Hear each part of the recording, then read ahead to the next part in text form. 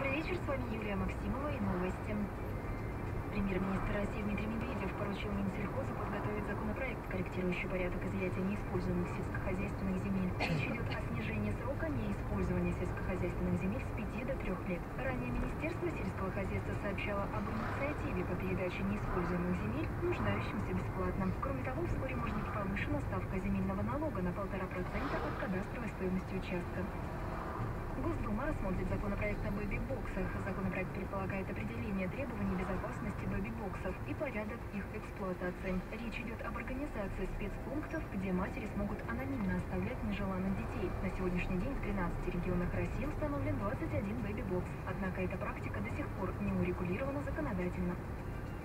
Власти Ростова проводят мероприятия по благоустройству придорожных территорий сразу в нескольких районах города. В частности, на некоторых улицах проводится так называемый срез грунта. Эти работы ведутся для того, чтобы грязь не попадала на проезжую часть. Городские власти в настоящее время ведут работы по благоустройству придорожных территорий на улицах Интернациональной, Всесоюзной, Ростовской, переулке Беломорском. При хороших погодных условиях работы по срезу грунта продлятся до середины ноября.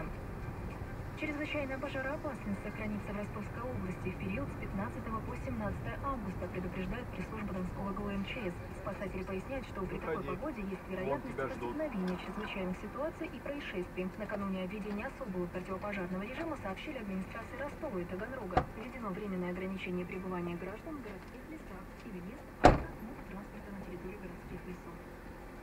С июня прошлого года из-за запрета на 30 процентов. Причина в том, что курящие посетители сократили время пребывания в заведениях,